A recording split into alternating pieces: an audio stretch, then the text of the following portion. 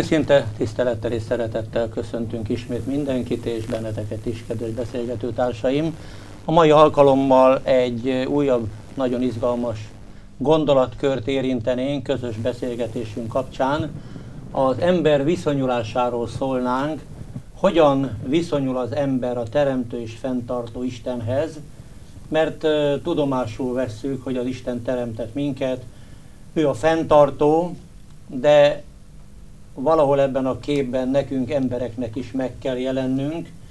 Idéztük egy korábbi alkalommal Jobb könyvét, az özönvíz előtti világ Istenhez való viszonyáról, és ez az ége olyan kiózanító és annyira nyilvánvalóvá teszi az ember belső viszonyulására való készségét az Isten iránt.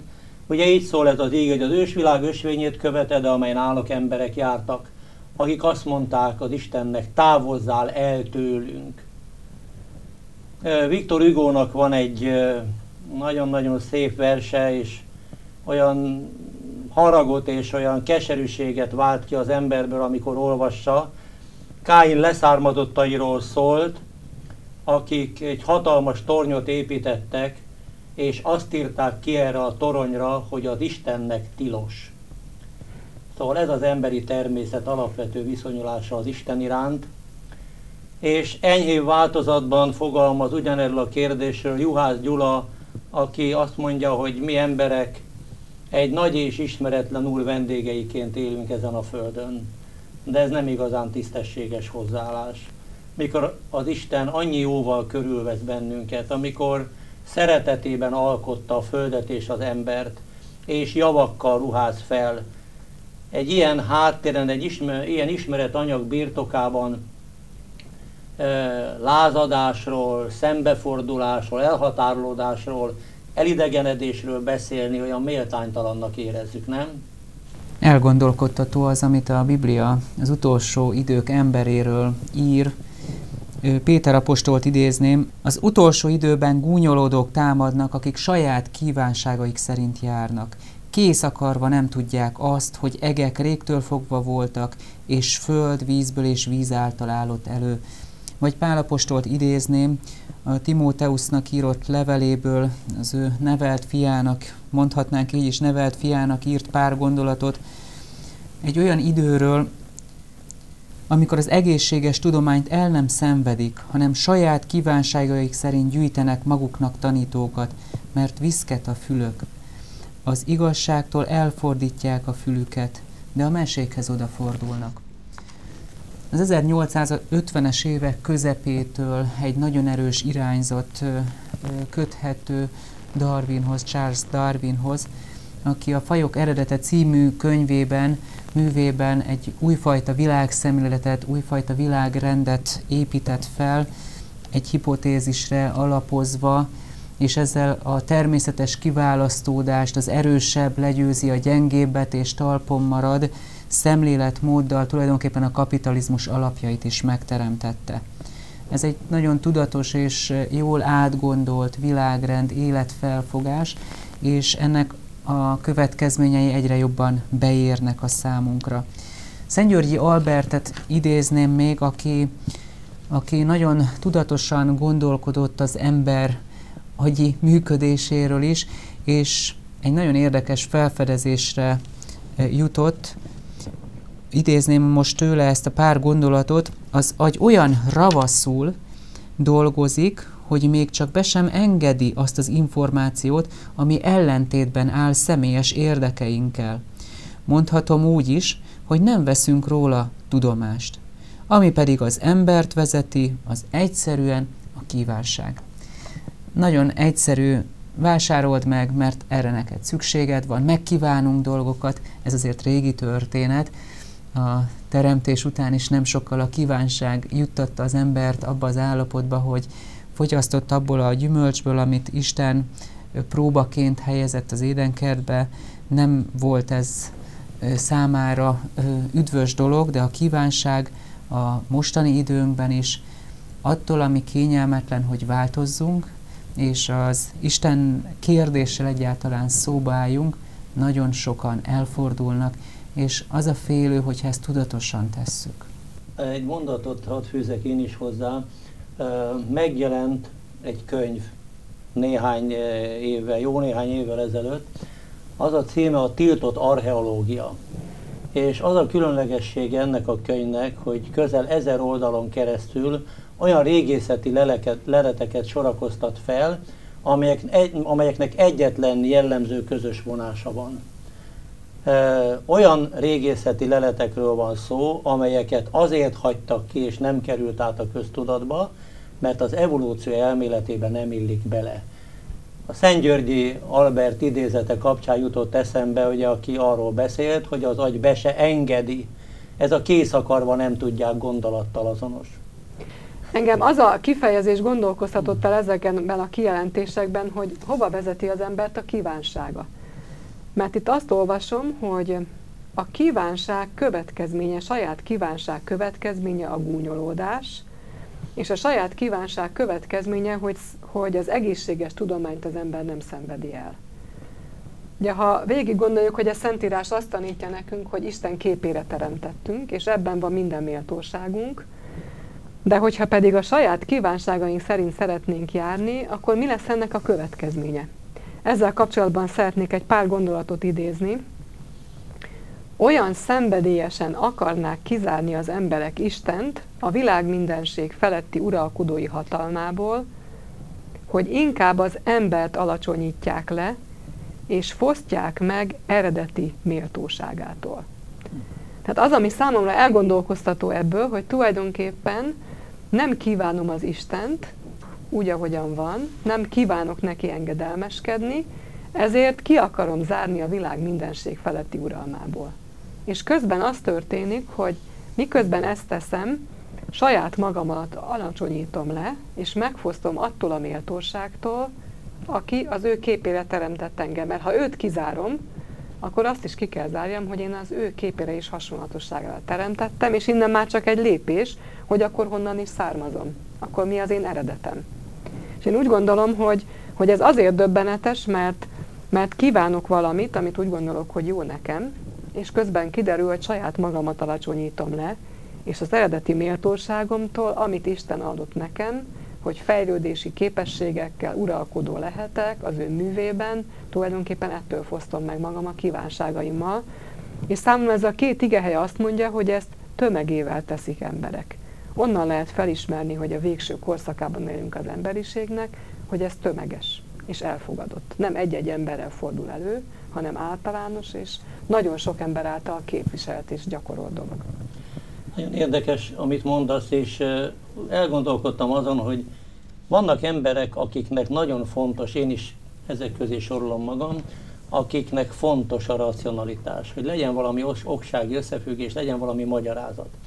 És hogy mennyire modern a Biblia, Péter apostol második levelében, ahol a gúnyolódásról és a saját kívánság előtérbe szori, tolásáról szól az ige, egy nagyon különös gondolat is elhangzik. Amióta az atyák elhunytak, minden ugyanúgy marad a teremtés kezdetétől fogva. Mondhatnánk, hogy ez egy pozitív hozzáállás, hiszen teremtésről beszél.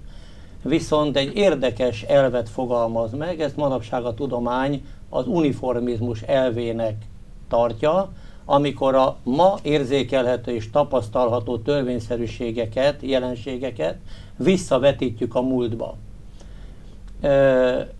és hát ennek alapján alakulnak ki aztán ezek a méretetlen nagy számok, mert mondjuk a cseppkövek növekedése az manapság ennyi és ennyi időt vesz igénybe, ezt visszavetítjük a múltba, a cseppkő 3-4 méter magas, akkor ez néhány százezer éves, mert hogy ennyi idő kellett.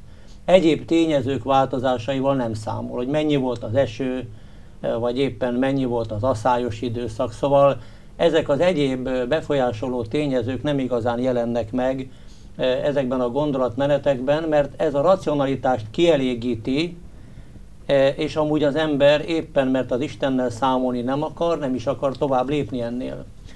És hát voltak éppen ez a bizonyos uniformizmus elve úgy kapóra jön, úgy, úgy kínálja magát, hogy akkor ezen a nyomvonal induljunk el, ez beleilleszthető a darwini elméletbe is, és mindabba, ami a racionálisan gondolkodó és jelenlegű igényekkel élő emberek szempontjából fontos. Nagyon nagy dolog egy embernek, aki szereti a saját kívánságait, és szereti a saját útját járni, hogy, hogy elfogadja azt a szemléletet, amit a Biblia tanít, hogy amit a zsidókhoz írt levél így ír, hit által értjük meg, hogy a világ Isten beszéde által teremtetett, hogy ami látható, az nem valami foghatóból, meglévőből lett. Luther ezt úgy fordítja, hogy ami látható, az a semmiből lett. Na ez az, ahol mi megállunk, mert valóban ezt mi nem tudjuk megmagyarázni. Azt, hogy ami nem, nem létező volt, a semmiből ennyi minden előállott. Hát ha körülnézünk, hogy minden, ami körülöttünk van, meg, meg mi magunk is a semmiből jöttünk létre, itt azt gondolom, hogy, hogy csak a hit, hit által lehetséges ezt elfogadni, elfogadni azt, hogyha a teremtő ezt mondja, akkor én meghajtom a fejem, hogy ez így történhetett. Ismeretes a tudomány világában egy úgynevezett Gaia elv, ami azt jelenti, hogy a teremtett lényeknek a maguk összességében egyidejűleg kellett megjelenni, mert egyik a másik nélkül nem létezik. Ennek klasszikus példája, hogy a virágok beporzásához szükség van méhekre. Tehát ebből szervesen következik, hogy a virágnak és a méhecskének egyidejűleg kellett megjelenni, hogy azután a termés is ennek nyomában e, megjelenhessen. E, az ember egészen furcsán próbál az efféle racionális érvek útjából e, kilépni, és itt, amikor arról szólunk, hogy, hogy Isten szóval teremtett, hogy a semmiből teremtett, akkor érdekes, hogy az evolucionista gondolkodásnak az anyagra mégis szüksége van. És azt mondja, hogy az anyag az örök és állandó. Az Isten teremtői lénye ilyet nem igényel, hiszen az semmiből teremtett. És különleges dolog az, hogy amikor Krisztus itt ezen a földön járt, és az atyát volt hivatva képviselni, akkor gyógyításainál és a szelek lecsendesítésénél, és egészen különleges a Teremtő Istenre emlékeztető megnyilatkozásainál bizony teremtői aktusokat hajtott végre. Van egy nagyon érdekes ige szakasz Máté evangéliumában, ezt az emberek többsége, főleg templomba járó emberek többsége ismeri, hiszen a katolikus liturgiában is szerepel a kapernami százados kijelentése, Uram, nem vagyok méltó, hogy hajlékomba jöjj, hanem csak egy szót szólj, és meggyógyul az én szolgám. Tehát itt a figyelmet az Isten teremtő szavára irányítja, és úgy gondolja ez a pogány százados, hogy Krisztusnak csak egy szavába kerül, és a szolga meggyógyul. Tehát ez a százados Krisztusban felfedezte a teremtőt, és volt benyomása és némi ráérzése arra, hogy a teremtő Isten szóval hozta létre a teremtményeket, akkor ez esetben egy beteg gyógyításánál is a teremtő Istennek csak egy szavába kerül, és felépül a szolga.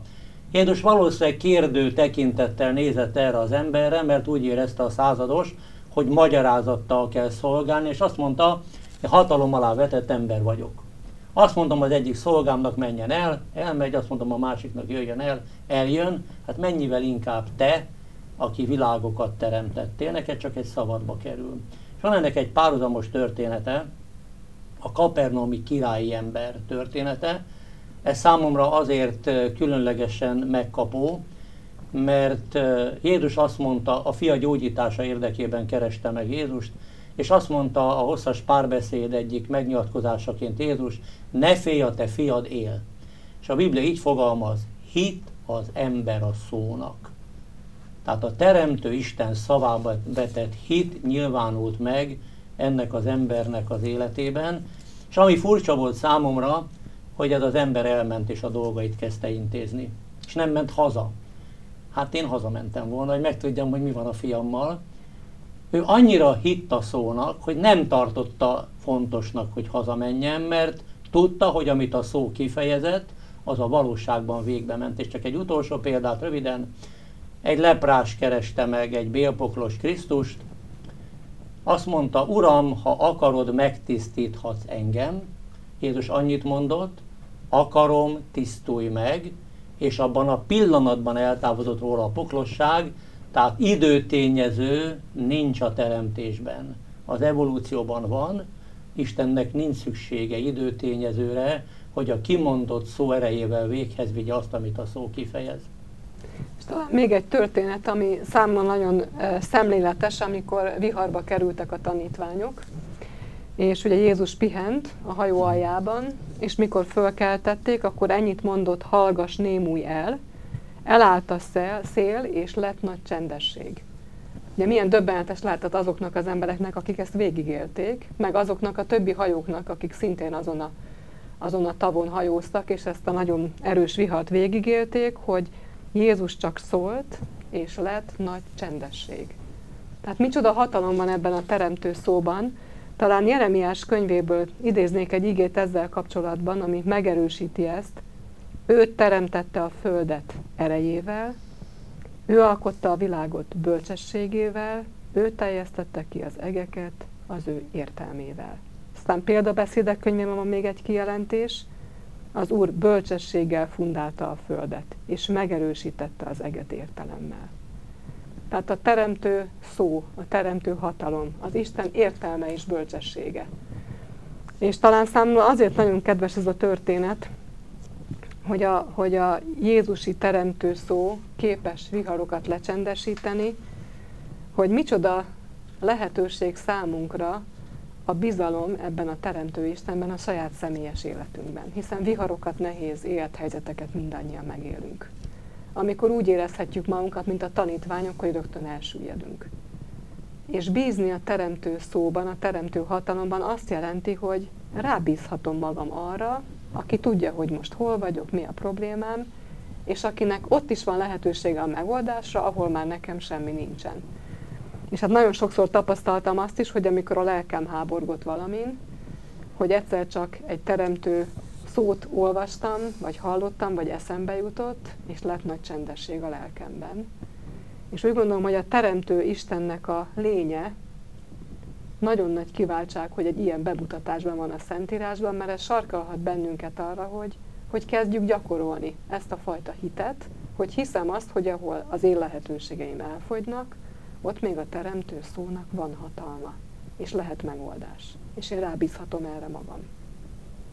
Milyen jó lenne, hogyha bizalom jegyében nem kísérleteznénk, hanem mindjárt e, rábíznánk magunkat az Isten teremtő szavára, és amikor Luther szavait, vagy a zsidókhoz írt levelet idézted, és azt mondtad, hogy hit által értjük meg, a hit szót érdemesebb lenne a bizalom szóval behelyettesíteni, mert a krisztusi gyógyítások is arra késztetnének bennünket, hogy hagyatkozzunk rá az Istenre. Ott az ember kudarcot val, ott az Istennek még ezer megoldása kínálja magát. Elérkeztünk tehát egy gondolatmenet végéhez, és érdemes lenne bizonyos tanulságokat megfogalmazni. Hogyha mindezt tudjuk, és a bizalom jegyében elfogadjuk, akkor vessük fel az alapkérdést újra. Hogyan viszonyuljon az ember, hogyan viszonyuljunk mi személyesen a teremtő, fenntartó, megváltó Istenhez, aki az önzetlenség nagy törvényét a legmagasabb szinten tölti be teremtménye irányában, akinek nem a hatalmán van a hangsúly, hanem szerető lényén. A Biblia azt mondja, hogy itt egy törvényszerűségnek kell érvényesülnie, az Isten jósága, ami értékrendünk megváltozását munkálná és kelteni életre, vajon hajlandók vagyunk-e ezzel a szívünkben is, a lényünk belsejében is szóba állni, vagy ez egy érdekes gondolatmenet volt, amelyen most végighaladtunk, és a tanulságok levonását másokra bízzuk. Merült föl bennem, hogy sokat beszélgettünk a kezdetekről, arról, hogy milyen nagy dolog az, hogy Isten elindított ezt a földi történelmet. Beszéltünk már arról is, hogy az ő fenntartó munkája mennyire jelen lehet személyes életünkben is. Jelenések könyvéből az első fejezet nyolcadik versét szeretném idézni. Azt mondja itt az íge, én vagyok az alfa és az omega, a kezdet és a vég. Ezt mondja az Úr, aki van, aki volt, és aki eljövendő, a mindenható. Sokan úgy gondolkodnak, ahogyan már hallhattuk is ezt, hogy valamikor elindította Isten, tegyük föl, elindította ezt a földi történelmet, és azután benne rejtőznek azok a szabályok, ami alapján fejlődtünk, és eljutottunk ide a 21. századba. Isten nem örül annak, hogyha csak a kezdetben gondolkodunk róla, azt mondja, hogy ő a vég is. Pontosítá, pontosabban én ezt úgy értem, hogy ő a beteljesedés, ő hozzá fog visszatérni minden, és az ő kezében maradnak a legvégén is a szálak. Nem hagy magunkra bennünket. Sokan vannak úgy, hogy hol van az ő eljövetelének az ígérete, minden azonképpen van, ahogyan az atyáink, az ősatyáink, régi ö, felmenőink idejében. A Biblia arról beszél, hogy nem csak volt és van, hanem eljövendő, és bizony ez egy örömhír, egy lehetőség ami számunkra, hogy személyesen is találkozhatunk azzal, aki annak idején elindította a földi történelmet a teremtéssel, azután a fenntartó munkájával napról napra gondoskodik, gondot visel rólunk, és egy lehetőség, hogy örömben találkozzunk vele, és folytathassuk az életünket már egészen az ő közelében, egy újjáteremtett világban. Összegzésül tehát akkor mit mondjunk? Persze ezt a kérdést nem lehet csupán észérvek alapján eldönteni, amikor mi az Isten lényéről beszélünk, az Isten szeretetéről, jóságáról, számomra átsüt Isten teremtői megnyilatkozásain is a szeretet, és rám nem a hatalmi demonstrációk hatnak igazán, hanem a szeretet, szívet, lelket megindító megnyilatkozásai. Ilyenkor egy hívő ember óhatatlanul is arra gondol, ami a tékozó fiú példázatában található. A tékozó fiút hazatérésre, visszatérésre az ésség ösztönözte. Otthonról úgy ment el, hogy a javak voltak számára a legfontosabbak. Amikor azután a szükségérzet megjelent az életében, a kiszolgáltatottság, és az, hogy amihez ő hozzányúl, az eleve pusztulásra van ítélve, és milyen jó az atyai háznál, ahol a béres is bővölködik kenyérben, és amikor távol volt, meglátta őt az apa, és odafutott, és nyakába borult, és megölelte, és csókolgatta, és úgy elgondolkodtam azon, hogy ez a fiú egyfajta racionális felismerés eredményeképpen indult el haza. De a hazatalálást nem ez váltotta ki nála. Amikor elment, csak a vagyon érdekelte. Amikor hazaért, akkor már csak az atya. És ezt az utat mi is bejárhatjuk. Akkor a századik Zsoltárból olvasnék egy néhány verset, ami talán egy összegzésként szólalhatna meg. Szolgáljatok az Úrnak örvendezéssel, menjetek eléje vigassággal, tudjátok meg, hogy az Úr az Isten, ő alkotott minket, és nem magunk. Az ő népe, és az ő legelőinek juhai vagyunk. Mert jó az Úr, örökkévaló az ő kegyelme, és nemzedékről nemzedékre való az ő hűsége.